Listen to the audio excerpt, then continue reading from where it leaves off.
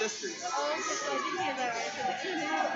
Up next, wrestling for the championship at 92 pounds in the Coastal Girls Division, Caitlin Harrell of the Best Wrestler Club.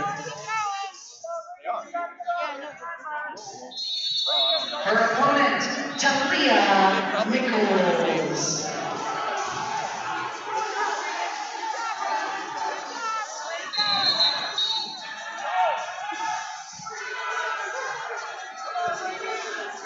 This is where they're supposed to pick favorites in Battle of the. Ben, Huh?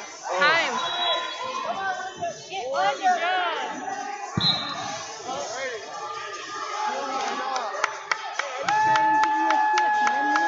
occupied, you know? I was, I was watching the sister matchup. You're, socializing, good.